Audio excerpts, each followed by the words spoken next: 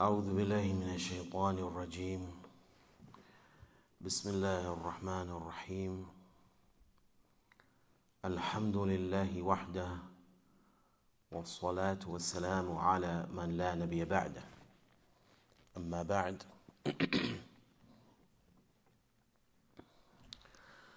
Inshallah ta'ala this evening we will continue in our series of lessons in the prophetic seerah the seerah of our beloved Prophet Muhammad sallallahu alaihi wa ala alihi wasallam.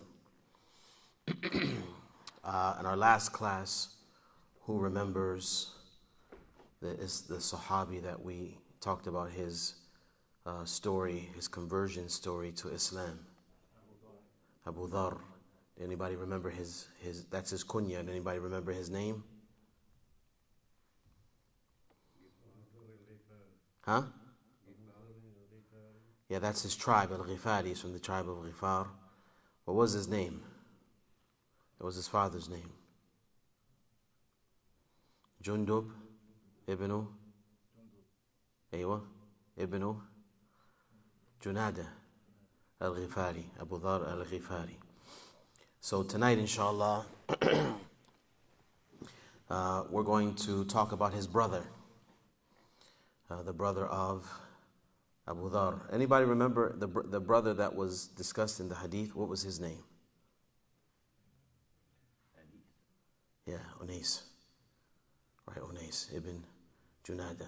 This is the brother uh, from his father. That was his, that was his brother from his father. Uh, however, Abu Dhar radiallahu anhu has another brother from his mother, and his name is Amr ibn Abasa as-Sulami radiallahu anhu. We talked about him briefly. We briefly mentioned Amr uh, maybe a couple of weeks ago, uh, and I made an ishara to his uh, to his story. I was supposed to. We were supposed to read through it, uh, but we ran out of time.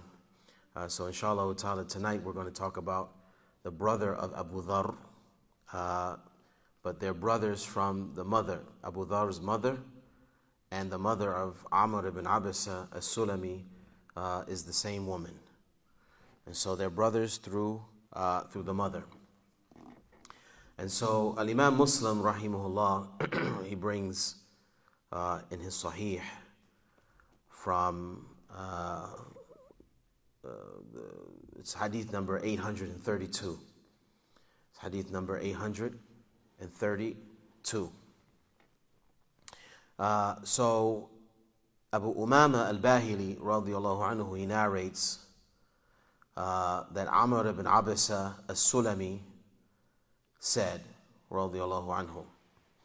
Um, and the tribe of Sulami, I believe they are attributed to Sulaim, uh, and I forget the name of the person that they are attributed to, uh, but it's one of the tribes of the Arabs uh, because their lineage uh, what I do know is their lineage goes back to uh, the same lineage of the Arabs that came from Yemen. Uh, I don't remember exactly the, you know, the, the names of the individuals, inshallah. We can go back and check that, inshallah ta'ala. But um, Sulami, they're from the tribe of Beni Sulaim. From the tribe of Beni Sulaim, which is a tribe of Arabs who come from Yemen. Originally, they're originally from Yemen. You remember we talked about how the, the Yemeni Arabs, you know, left Yemen uh, and then they divided up uh, into different places. A lot of the people from Beni Sulaim, they ended up in Hims. Y'all know where Hims is at? Right, in, yes, right, in, in Syria. Uh, and so a lot of them, uh, and I, I believe Amr ibn Abasa is from them, who ended up uh, in, his la- in the end of his life, he ended up dying in Hims, uh, radiallahu ta'ala anhu. So uh, Abu Umama al-Bahili radiallahu anhu, he said that Amr ibn Abasa as-Sulami radiallahu anhu said, during the Jahiliyyah, in the times of Jahiliyyah is referring to the days of ignorance, meaning before the Prophet sallallahu alaihi wasallam, because they were in a state of ignorance. They didn't know uh, about uh, Islam. They didn't know about uh, prophets and messengers. They didn't know about all of that. They didn't have all of the, the details. They had, uh, they had knowledge of Ibrahim and his son Ismail, but by the time, right, you know, right before the Prophet sallallahu alaihi wasallam, the religion of Ibrahim had become so distorted that it was only reminiscences of the religion of or the dawah of Ismail. You know, there were there were pieces here and there, the dawah of Ismail. And so the people were ignorant and so they call that time the time of Jahiliyyah, the time of ignorance. And so uh, Amr ibn Abasa as-Sulami, he said, anhu, during the Jahiliyyah, I used to think that the people were misguided and not following anything real when they worshipped idols. Does that sound familiar? Who does that sound like? Huh? We talked about him last week. Abu Dhar. But what did he say? Huh? I thought you said he was on the religion of Ibrahim, but well, close to it, where he wasn't he wasn't upon. Right, that's what I'm saying. So Amr ibn Abasa, his brother, right? He's saying during the time of Jahiliyyah, I used to believe that uh, I used to think that the people were misguided and not following anything real when they worshipped idols. So then his brother, Abu Dhar, remember he said, I prayed, I used to make salat three years before I met the Prophet. Remember, he, he also had an, uh, an understanding that the people were misguided and when they were worshiping idols, he didn't like it. Uh, remember, he even insulted uh, Isaf and Na'ila when the two women were making tawaf around the Kaaba, and he said, you know, why don't you marry one to the other? you know, as an insult uh, to, uh, to their deities. And so now his brother, Amr ibn Abasa, now has the same uh, type of understanding. He said, I used to think the people were misguided. I used to think the people were misguided, even though at that time, you know, they, they weren't, they didn't have knowledge because the religion of Ismail had been distorted by that time. So they didn't have a book to, for them to rely on and say, no, what, they, what they're doing is, is wrong. But the fitrah, the natural inclination of an individual that he was born on to worship only Allah subhanahu wa ta'ala, it stayed within certain individuals. And you'll find that in some people that a person's fitrah is still salima, that even after he becomes an adult, he grows up in a land of kufr and shirk, that Allah subhanahu wa ta'ala, for some individuals, He preserves that natural state of wanting to worship Allah alone. And so this was the case for Abu Dhar, and it was also the case for his brother Amr ibn Abasa as-Sulami radiallahu anhu. So he said, I used to think that the people were misguided and not following anything real when they worshipped idols. I heard of a man in Mecca who was telling stories. So I sat on my mount and went to find him. And so now the prophet, the news of the prophet والسلام, had actually spread even early. Because remember, uh, we said that in a couple of classes ago, Amr ibn Abasa thought he was number four. He thought he was the fourth Muslim. Even though Abu Dhar thought he was the fourth Muslim, and we're going to talk about that. Uh, why Amr thought he was the fourth Muslim, we're going to talk about that in just a second, inshallah. So early on, in the da'wah of the Prophet sallallahu alaihi wasallam, and we're still in the we call it the marhala sirriya, the, the, the private dawah.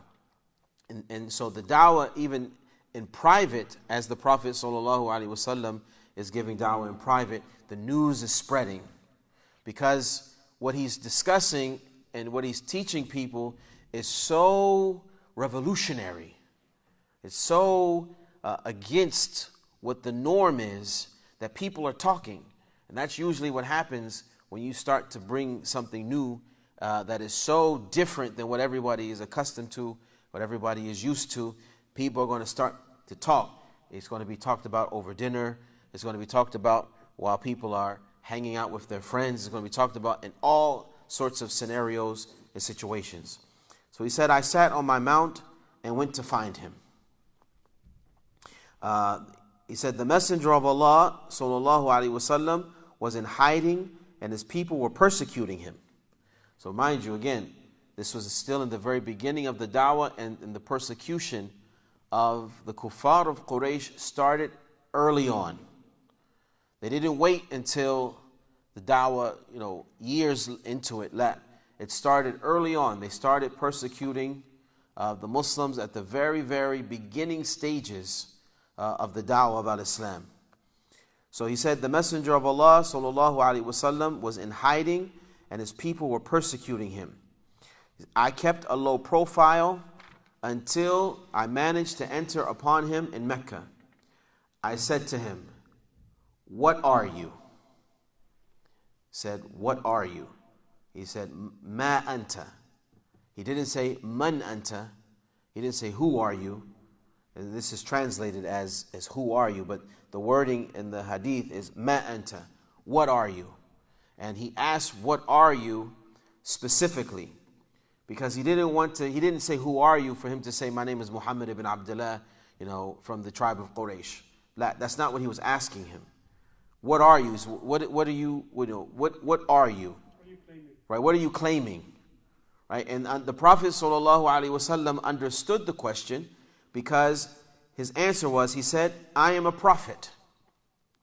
Ana Nabi. I am a prophet. And so that was the answer of the Messenger sallallahu alaihi wasallam. I am a prophet. And so uh, Amr ibn Abasa said, What is a prophet? What is a Nabi? And you see very intelligent questions because he didn't know what a prophet was. Because the last prophet they had was who? Ismail, who had died, you know, many generations before. So they didn't know what even a prophet was. This just goes to show you how much the religion had been lost to the point where they didn't even know what was a prophet. So Amr ibn Abasa anhu asked him, What's a prophet? Like, what is that? Very intelligent question. And so the Prophet ﷺ, he explained, he said, I have been sent by Allah. Answering, I have been sent by Allah. Amr ibn Abasa asked another important question. He said, uh, With what has he sent you with? What did he send you with? You saying you're sent by Allah? Your prophet who's been sent by Allah, what did he send you with? What are you calling to? What is your mission? Like, I heard about you, people talking about you, but now I want to hear directly from you. I don't want to hear and learn about you from someone else. I want to hear directly from you. What are you? What are you about? What are you calling to?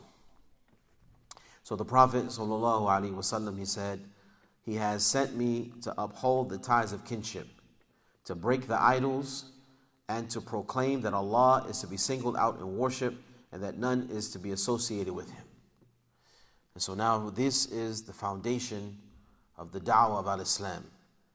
And Notice how the Prophet ﷺ, he started with silat al-arham, keeping the family ties.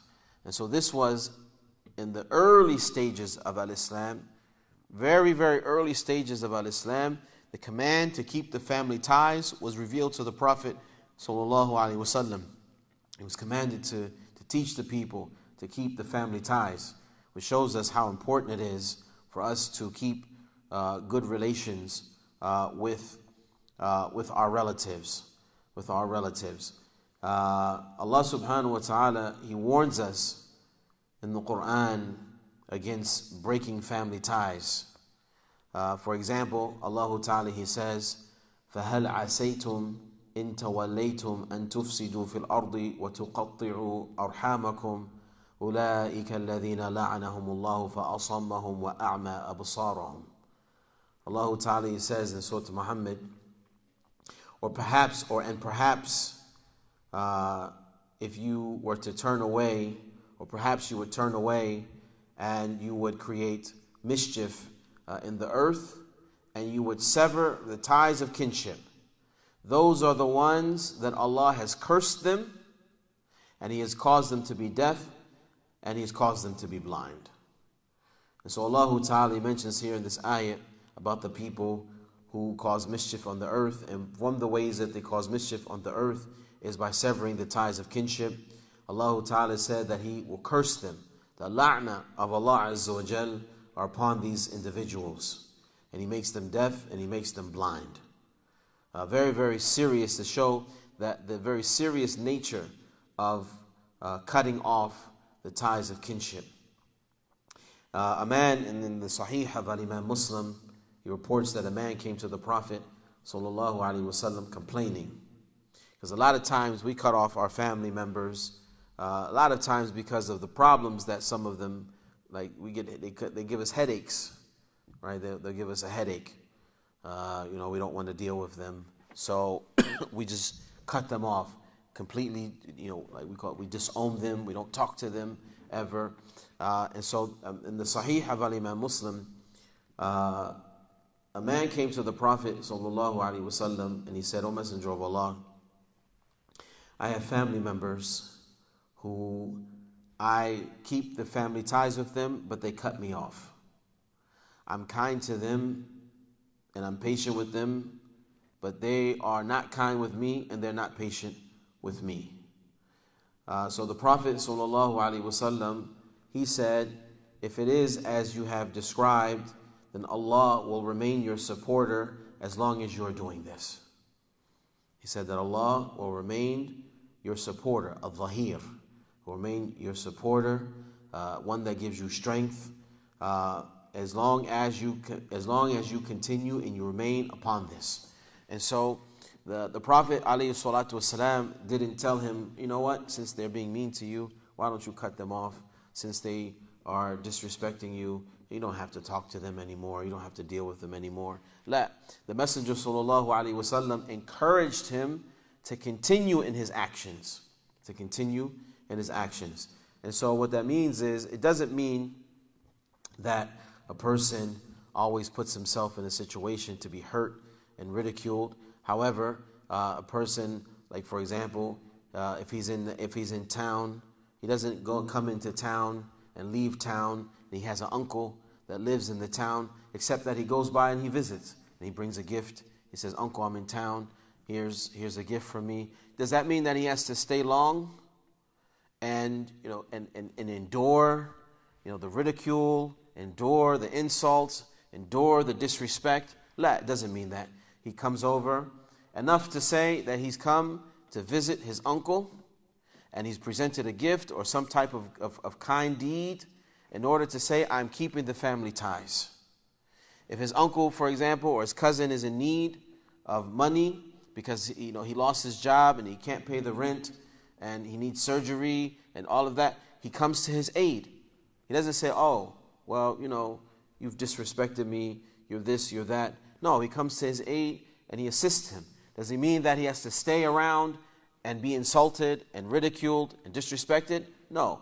He can send the money through Zelle, he can send the money in a check, he can go deliver it by hand, give salams, check on him, uh, see how he's doing, ask about his affairs, and then leave. This is still keeping the family ties. It's still keeping the family ties. And so, what has been prohibited is cutting off people altogether. You don't travel, for example, to a place you have a brother or you have a sister in that in that area, and then you don't go and stop by and say hello, visit your nieces and your nephews. You don't do that. You don't you don't uh, you don't come in and leave because that's very. I, I would be offended if I had a relative who came into town and left town, and then I hear about it from someone else that he went to visit friend who's not even a relative. You say, you know, what's going on? That would hurt, and it cause pain to your relative. And this is not uh, something that is permissible, even in the case where your relative is someone who may speak ill about you. For example, if your relative is non Muslim, right, and you come over, you have a kufi on your head, you have a beard, and every time they see you, they say, Ah, look at you. Look at, why don't you shave your beard? Why don't you take that kufi off? Right? Every time you see them, they say that. That's not a reason to not go and give them their rights. It's not a reason to go or not go and give them their rights. Uh, they have rights as Allah subhanahu wa ta'ala has obligated us uh, to give them rights, and we have to fulfill those rights. Which is why when Amr ibn Abasa, radiallahu anhu, when he asked, What did Allah send you with? The first thing the Prophet wasallam said, I've been sent to, to order the people to keep the ties uh, of kinship. And uh, I've been ordered by Allah subhanahu wa ta'ala to call to that none should be worshipped besides Allah Azza wa Jal, and none, uh, there's no associates, and there's no, uh, uh, uh, there's no associate, or none should be associated with Allah. And this is the call of every prophet and every messenger that has been sent by Allah. As Allah Azza wa Jal, He says in the Quran, وَلَقَدْ بَعَثْنَا فِي كُلِّ أُمَّةٍ رَسُولًا أَنْ يَعْبُدُوا اللَّهَ وَاجْتَنِبُوا الطَّاغُوتِ And indeed we have sent to every nation a messenger proclaiming, worship Allah and stay away from the false deities. and so this is the da'wah of al-Islam. This is the da'wah of our messenger, sallallahu alaihi wasallam, freeing the people from the worship of other than Allah subhanahu wa ta'ala. Uh, and so uh, Amr ibn Abasa, he goes on, uh, he says, Who do you have with you? Now he asks about his companions. These are all very, very intelligent questions. You can tell from the questions that Amr ibn Abasa it was an intelligent man. And a lot of times you can tell the level of intelligence of an individual simply by sitting in his presence and listening to the questions that the person asks. And so Amr. Huh? so, mind you, now he's getting ready to give his life over to this man. Because that's what the Sahaba did. You know, so before I give you my life, before I commit my life to you, I need to know who you are, what you're about. So that's why he was asking all these questions, and the Messenger of Allah, sallallahu alaihi wasallam, he gladly answered. He didn't say, "Hey, you're asking too many questions. Hey, you know, none of your business. you know, who you, who are you to be talking to me like that? Don't you know who I am? i have been sent." He just said, "I didn't. I just tell you I was sent by Allah." What you doing asking me questions for? Now, he didn't say that. He just simply answered. He said, Who is with you? He said, A free man and a slave. a free man and a slave. Who do you think he was referring to when he said that? Abu Bakr, who was the free man and the slave?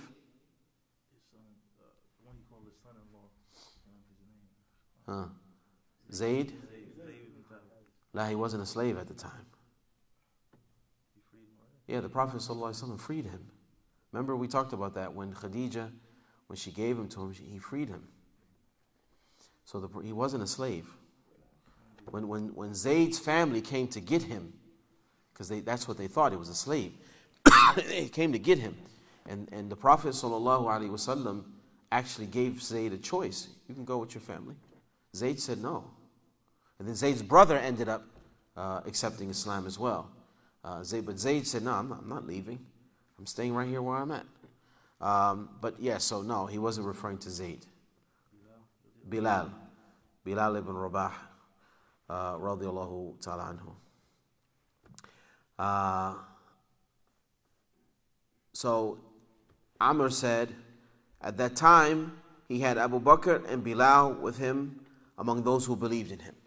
so now, this is why Amr ibn Abasa believed that he was number four. He was the fourth Muslim. The Prophet sallallahu alaihi wasallam, Abu Bakr, Bilal, now him. Now, mind you, at that time, there was uh, Abu Dhar. At this point, Abu Dhar had accepted Islam. Uh, Zayd ibn Haritha, Ali ibn Abi Talib, Khadija had accepted Islam. All of these people had already become Muslim. But it's possible that, as we mentioned before, the Messenger wasallam only mentioned Abu Bakr and Bilal because Abu Bakr had family. And if people knew that Abu Bakr was Muslim, it didn't matter because Abu Bakr could, could, could, he, could, he could protect himself. And Bilal was underneath of the protection of Abu Bakr. Bilal was underneath of the protection of Abu Bakr. And so the Prophet ﷺ, because he doesn't know at this point, Amr didn't announce his Islam. He didn't announce that I'm Muslim, that I'm going to follow you. And so the Prophet ﷺ, he answered him with information in a way that's going to still protect the weak ones from amongst them. Because if it got out that there are other people that were Muslim, that information got out, then it's possible that there were some individuals that couldn't protect themselves. And Abu Bakr couldn't protect everyone. The Prophet ﷺ, his family, you know, he had big family, uh, uh, Beni Hashim, but even he faced some persecution and he couldn't protect everyone. And so, how did the Prophet ﷺ protect the weak ones from amongst his companions at that time? By just not mentioning them. He said, uh, he said a free man and a slave. A free man and a slave. And didn't even mention them. and he didn't mention them by name. So this is, the, this is uh, some of the ulama mentioned, this is why Amr ibn Abasa, radiallahu anhu, he believed that he was number four. He thought he was the fourth person uh, to become uh, a Muslim. And so, uh, Amr ibn Abasa, radiallahu anhu, he said, I want to follow you. I want to follow you. So now he's announced his Islam. Now I'm going to follow you and I'm going to obey you. Uh, and so the Prophet wasallam he said, You cannot do that right now. Do you not see the situation and the situation of the people? Meaning, it's, you know, the Prophet wasallam there's not, it's not a good situation for them. The people in power uh, are, are, not allowing for them to call openly uh, or not allowing them to freely uh, practice their religion uh, because they're being persecuted. Excuse me. And so the Prophet ﷺ, he told them, you, you, you, can't, you can't handle that right now. You can't do that. So he said, go back to your family. Because if he was to stay in Mecca, because he wasn't from Mecca, if he was going to stay in Mecca, then he wouldn't have anybody to protect him. He wouldn't have anyone to protect him. The family of the Messenger وسلم, protected him on the basis that he was from Beni Hashim. That's it. The Prophet وسلم, could not call Beni Hashim and say, listen, give this guy protection, protect him like you protect me. He didn't have that type of uh, authority. He didn't have that type of uh, level of, of authority in Mecca. And so uh, he was protected, he himself was protected to a certain degree because he was from Beni Hashim. Right? Just because he was from, they didn't necessarily even agree with, all of Beni Hashim didn't even really agree with what he was calling to, but because that's our nephew, that's our cousin, you know, you're not going to bother him. You're not going to harm him because that's family. And so, uh, because at this time they still stood on a tribal system. You know, whatever you did, you did it. But you're not going to, if, if, his, if I come and I break your, your window, right, in your, in your house, I break your window, you better not come and try to, try to get me on your own. Don't bring you and your family and try to get me because you're going to have to deal with my family. You're to say, yeah, but I was wrong. Yeah, don't, yeah, don't matter. It don't work like that. You know, if, if he did you wrong, then you need to come through us and we will deal with so and so. We'll deal with him in our way. But you don't have a right to come, just like, for example, one of our children. If a child comes and, you know, Abdul Fattah, he comes and throws something at your head, right? You can't just go to the child and pick him up and whop, whop, whop, you know, give him a spank. You can't do that, right? Because the father is going to say, What you doing? You say, But he hit me. The father is not going to hear you. Yeah, you should have came to me first and let me deal with my child. And so this is the way the tribal situation worked. And so Amr ibn Abasa, his family wasn't in Mecca. And so he had no one. If he would have stayed in Mecca, he would have had no one to protect him. And so the Prophet ﷺ told him, Go back to your family. Then when you hear that I have been granted victory, come to me. And this is from the Dala'il al-Nubuwah. This is from the signs of prophecy. Because even at that time, at this time, the Prophet ﷺ knew that he was going to have victory. He knew that he was going to be a parent. He knew this at, even at this time, and we're still at the very beginning stages of the Dawah of al-Islam. And the Prophet ﷺ, he knew at that time that eventually he was going to be granted victory. So he told him, so he told him, when you hear that I have been granted victory, come to me. So he said, So I went to my family, and the Messenger of Allah wasallam arrived in Al Medina while I was with my family. I started to ask people for the news after he arrived in Al Medina. I started asking people, hey, you know, what's going on with so with he's, you know the Messenger of Allah, what's happening, what's going on. Um, said, until there came to me a group of people from Yathrib, which is Al Medina, which is Al Medina. The Prophet ﷺ was the one who actually changed uh, the name of Yathrib to Al Medina. And I said, What did this man who came to Al Medina do? They said, The people are hastening to follow him. And his people wanted to kill him, but they were not able to. So now that he heard that the Prophet ﷺ is now, people are hastening to him because Amr ibn Abasa actually didn't arrive in Al Medina till late. He arrived in Al Medina till later on, and we want to see uh, from some of the questions that he asked. Um, and, and so uh, he missed Al Badr, he missed Uhud, he missed uh, uh, the, the, the battle of Ahzab, he missed, um, he missed I even believe he missed Al Khaybar. Uh, I think he came, right, if not at Khaybar, or a little bit after Khaybar. So he came in the later portions of Al Ahd al Madani. Because uh, the Prophet ﷺ, he told him, Wait for me, you hear that I gave I got victory. When you hear that I've became victorious, then you come to me. And so he stayed with his family as the Prophet ﷺ ordered him to do. And when he heard that now the Prophet ﷺ was given tamkeen fil ard, he was given, uh, he was established in the earth. He said this time uh, that he went to the Prophet ﷺ. So he said, I arrived in Al Medina and I entered upon him. I mean, I entered upon the Prophet ﷺ. He said, O Messenger of Allah, do you recognize me? Now, mind you, 13 years in Mecca, we're talking about maybe what, five, six years, seven years and in Medina. It's like 20 years ago that he met the Prophet. So he said, O Messenger of Allah, do you recognize me?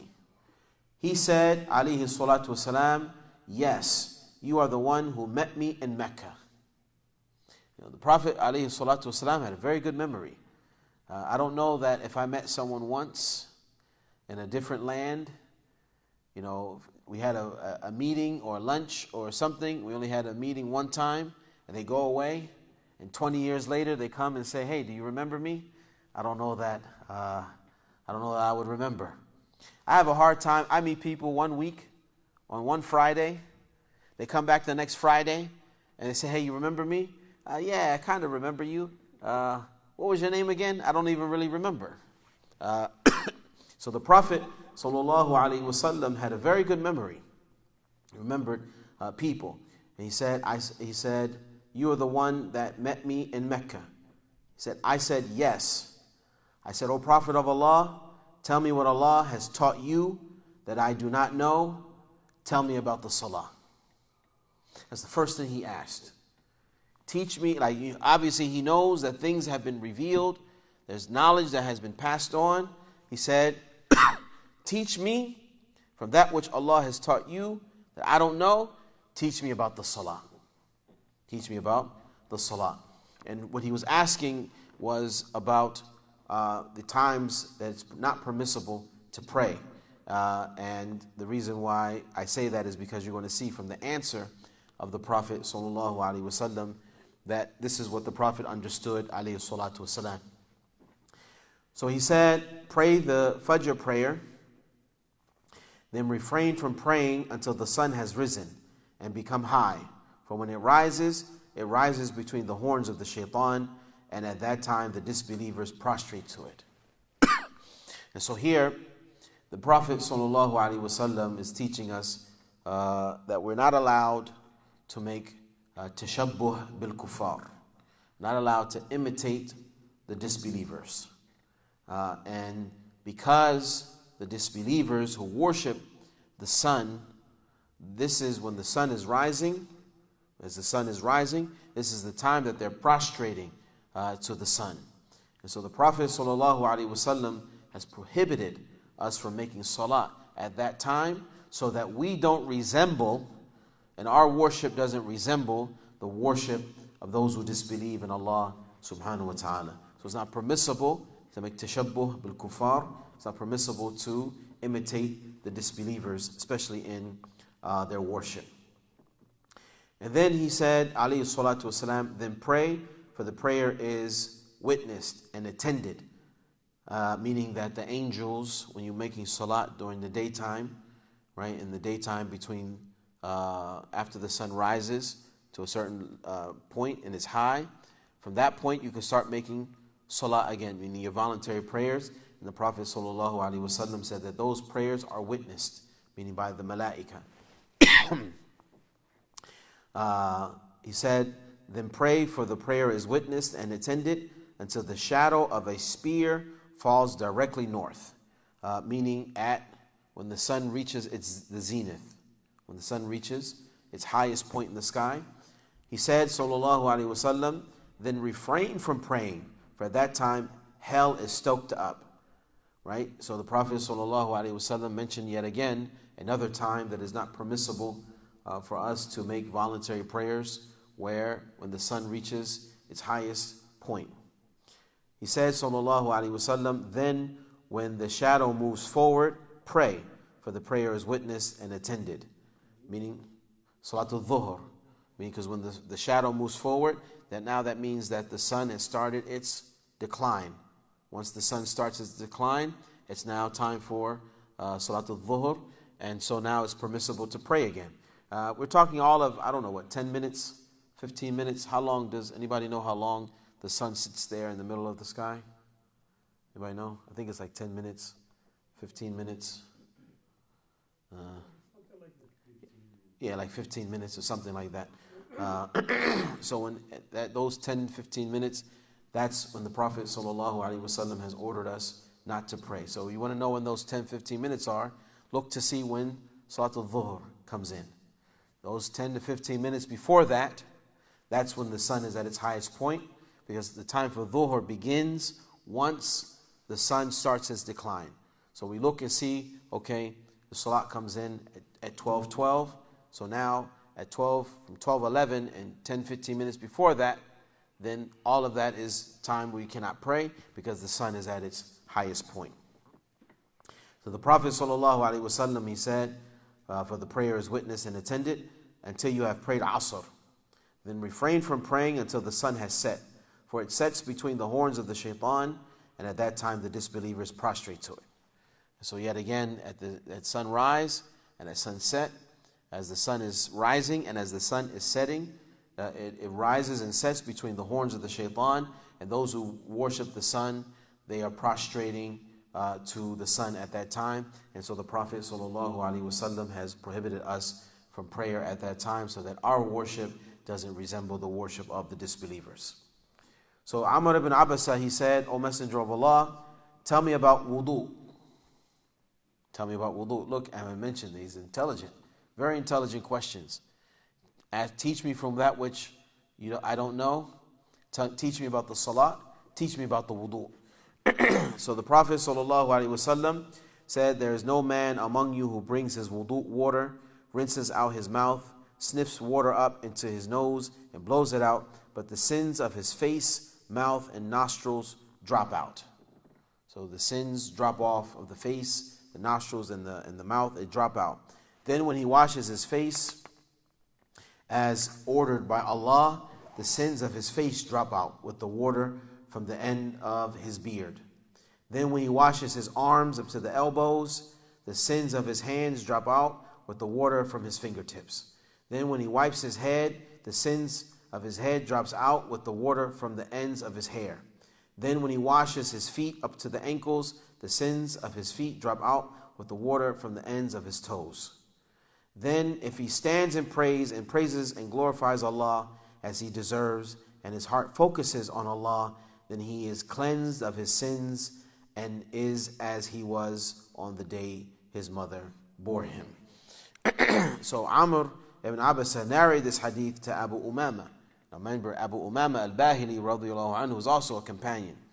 Uh, he narrated this hadith to Abu Umama, uh, and Abu Umama said to him, O Amr ibn Abasa, watch what you are saying. Is such a great reward given to a, a man for one incident? Meaning, look what you're saying. you know, watch what you're narrating. Be careful what you're saying. Meaning, you know, if you because if you make a mistake and you're lying on the Prophet sallallahu alaihi wasallam, it's a grave deal. Be careful because the Sahaba they really took it as a as a really big issue to to say the Prophet sallallahu alaihi wasallam said such and such. Because the Prophet said, alayhi salatu wasalam, Man kadhaba alayya muta'ammidan falyatabawwa maq'adahu min an-nar. Whoever lies on me intentionally, then let him take a seat in the hellfire. And so it's a very big deal. So Abu Umama, because uh, it's as if he never heard this before. It's as if he never heard this before. So he tells Amr ibn Abasa, you know, watch what you're narrating. Uh, so Amr ibn Abasa said, O Abu Umama, I have grown old, my bones have become weak, and my end is near. I have no need to tell lies about Allah's messenger, about Allah and His Messenger, sallallahu alaihi wasallam. Like I'm, I'm at my death now. I'm old and I'm at my death. Why would I tell a lie now at this point when I'm about to meet Allah subhanahu wa ta'ala? Why would I choose now to lie on Allah and to lie on His Prophet sallallahu alaihi wasallam? He said, if I had heard it only once from the Messenger of Allah sallallahu alaihi wasallam, or even two times or three, until he mentioned seven times, I would never have narrated it. I mean, if I would have only heard this once, twice, three times, four times, five times, six times, seven times, then I probably wouldn't have. I would have. I wouldn't have said anything. He said, but I heard it more often than that. I mean, the Prophet wasallam he narrated these rewards quite often, and Amr ibn Abasa was present uh, more than seven times when the Prophet والسلام, mentioned uh, these rewards. So this is the uh, the qissa or the uh, the story of the Islam of Amr ibn Abasa as-Sulami radiallahu ta'ala anhu. Uh, inshallah ta'ala, uh, we're going to stop here. Uh, does anybody have uh, any questions about what we've covered?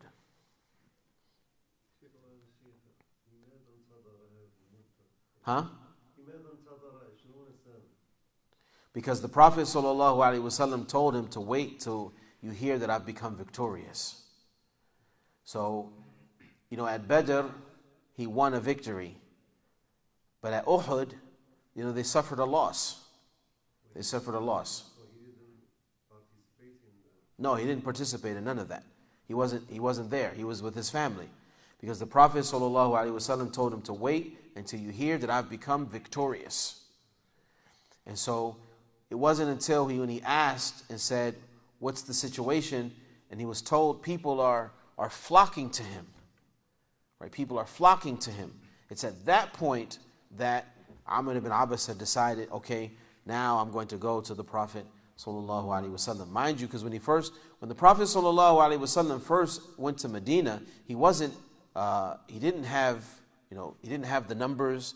People in the Arabian Peninsula still uh, looked at Quraysh as the powerhouse of the, uh, of the Arabian Peninsula.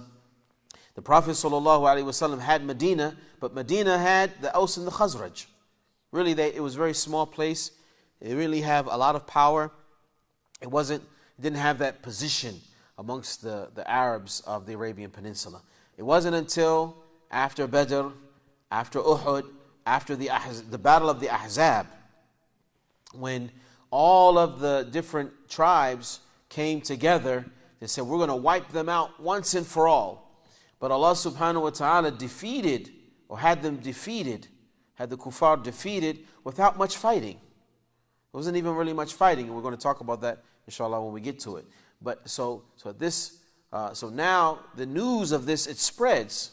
The news of this it spreads and people become more emboldened with every victory of the Prophet wasallam. More people become emboldened by that victory because the dawah itself was convincing. The dawah itself was very, very convincing, and people were leaning towards that dawah. Uh, it's just that you know they were afraid of the fight. They were afraid of the fight. I mean, I don't know if, they're gonna win you know, the kuffar have 2,000, they only have X amount of numbers, ah, they might not win. But every time the Prophet ﷺ was victorious, even with his smaller numbers, it emboldened more people to come forward and say, you know what, we're, we're not afraid anymore to come forward and to, uh, and to accept Islam. To a point where now people were hastening to the Prophet ﷺ, and when that news reached to Amr ibn Abasa about this, uh, that's when he said, I'm going to now go uh, to Al Medina and meet up with the Prophet sallallahu alaihi wasallam. Now, so his first question was about the arkan. So he had already known, I guess, a little bit about. It's yeah, because so when we look at these stories, right? A lot of times uh, they're narrating. He's at the time that he's narrating this, he was old. So obviously this happened years ago, years and years ago, and so uh, there's some things that are that are left out uh, because you're telling a story. So, for example, um, if you like you went to Morocco, right? So if I ask you, tell me about your trip to Morocco, you're going to talk to me maybe 10 minutes, and in that 10 minutes, you're going to skip over. There's a lot of details that you're going to skip over. Maybe it's intentional, maybe it's not intentional, maybe you forgot, and so uh, there are aspects of the story that most likely, uh, obviously, has been left out. Obviously, Amr ibn Abasa has most likely been following the news of the Prophet ﷺ along the way, talking to people, learning from people that he, you know, the tujjar, the, the business people that come through that he's dealing with. He's asking, hey, you know, what about this situation? What have you heard? And they're talking. And so he's learning uh, this, you know, through uh, interacting and dealing with, with people. And I'm sure he's probably run into Muslims, people that accepted Islam. I'm sure in his, in his dealings with individuals, he ran into those people and he learned things, which is why he asked about the timings of impermissibility to, uh, to make salah. Because he has some knowledge, uh, and Allah Ta'ala knows best.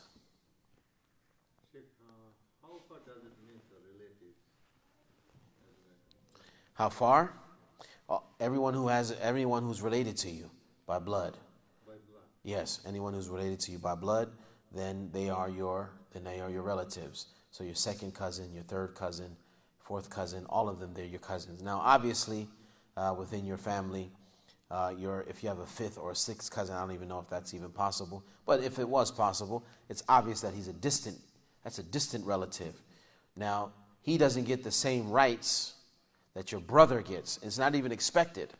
It's not even expected within the family. It is expected for you to keep the ties of of kinship. But what does that mean when it comes to your father?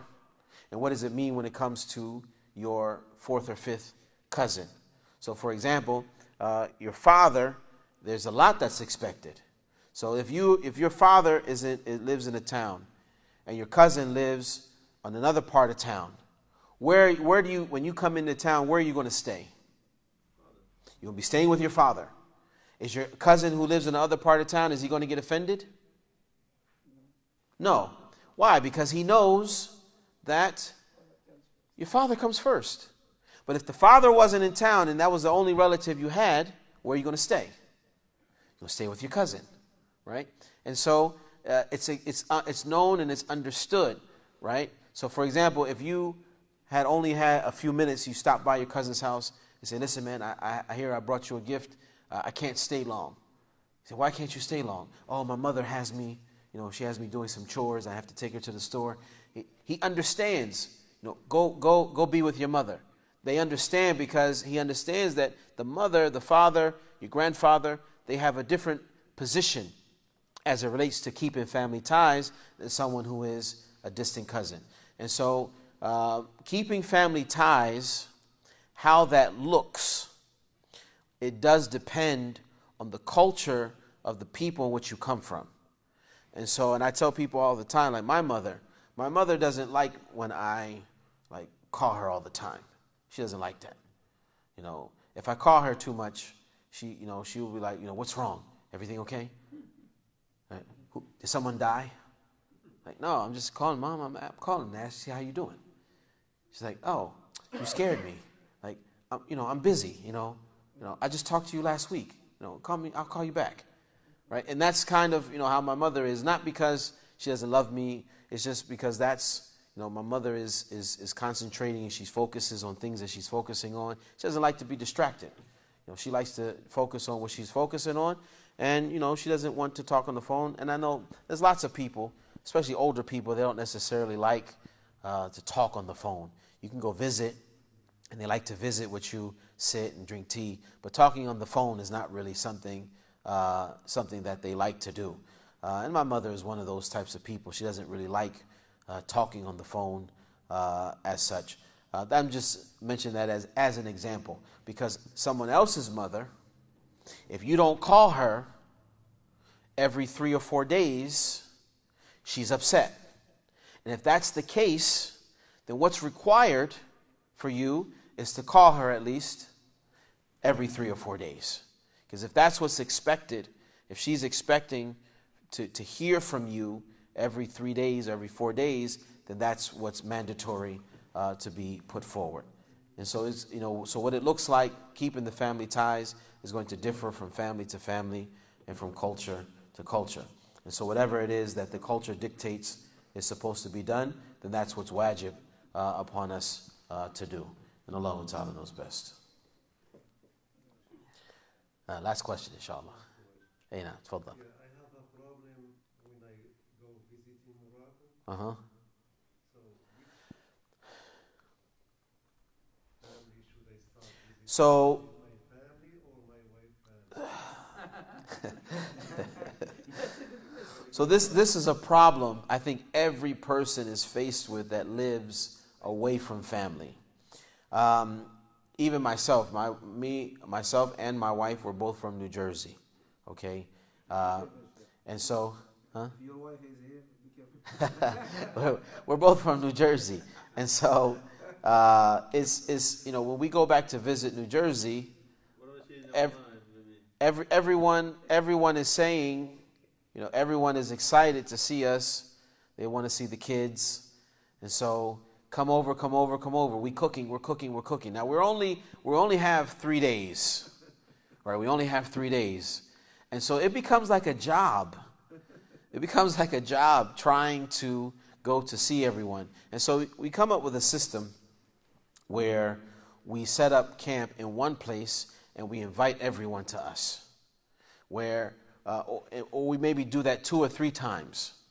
Instead of trying to go see everyone individually, then we'll, we'll, we'll, we'll before we arrive, we've already set up three, you know, on this day, we're going to have a dinner at so and so's house. We invite certain people, everybody come over there. And then on the second day, we're going to go to so and so's house and invite everyone over there. And like this. And so that way we maximize our time and we're not stressing out trying to see everyone individually, especially if you have a large family. Like how many you have brothers and sisters?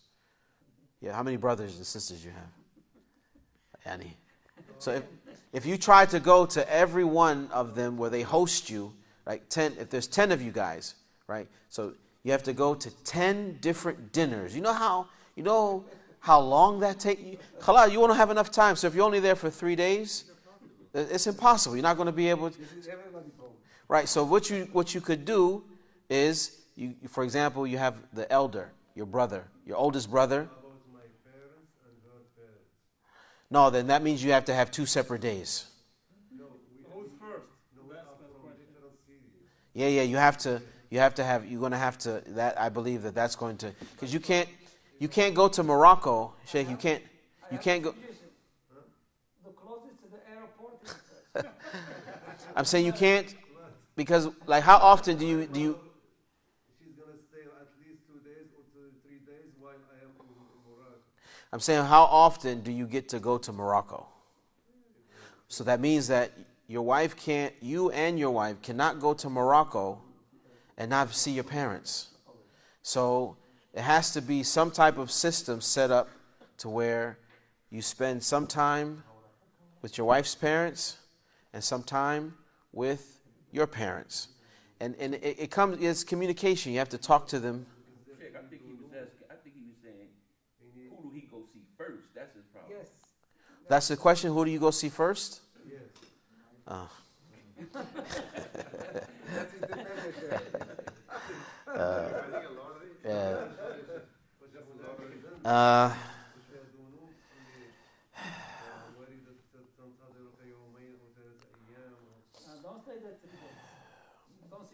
one day, one night, and next day you have to say, oh it doesn't matter. I think this is what they do. Wallahi, Sheikh, I, I, uh, uh, I believe that you try to, you try, you, know, you and your wife come up with a decision, and then from that decision, you try to convince your parents of the, you know, of why the decision was made. Maybe you can switch, you know. So this this year you're going to Morocco, you know, you go see your parents first, and then the next time you go to Morocco, you go see her parents first inshallah ta'ala, hopefully everyone will get, you know, get your parents a nice big gift, bring them, you know, uh, you know, something from America, uh, you know, make them happy, especially your mother, you know, try to make her happy because uh, they're excited. That's the issue. The issue is that they're excited. They haven't seen you in so long, and, and your mother is excited. She wants to see you. Uh, the, then it'll be your parents. It'll be your parents. Yes. But I, I don't. But I'm not saying that that's that's not always the best route uh, to take. Uh, you know, I think there should be discussion and agreements because these types of things can lead to heavy arguments. And if you make a mistake, let's say you go to Morocco, you make a mistake with your wife's parents, you come back to America, that you can't make that up. Like there's no way to, you can't say I'm sorry. You can't. It, it's it's it's done. And so the best thing to do is before you leave, part of the the same way that you're preparing the plane tickets, how we're going to pay for the plane tickets, what's the date we're going to leave, the same way, you know, what are we going to pack? You have to have the discussion of how are we going to visit family. Before you get the ticket. that has to be that has to be part of the that has to be part of the planning. How are we going to visit the family? Allah al-Mustan. Allah al-Mustan. May Allah subhanahu wa ta'ala help us. This is everybody's problem. Yeah. Yeah, kind of this is the last question. I just want to add something because I think uh, uh, culturally the the children raised raised or they I, mean- I mean uh, they have more rights their grandfather, the Mm. father side. Uh-huh. Uh, they live together. Mm. They don't live with the mother side and mother, father, and mother. So I think the man, whoever man, his father and mother have more rights. Yeah, but that's that's only going to be in certain cultures. Yeah, yeah. Right, right. You um, know. Khair inshallah. I'm gonna make dua for you brothers, you know, going back to Morocco. make dua for you all. Yeah, yeah, yeah. May Allah subhanahu wa ta'ala help us and, and, and guide us to the best decisions. هذا والله تعالى أعلم وصلى الله وسلم وبارك على نبينا محمد.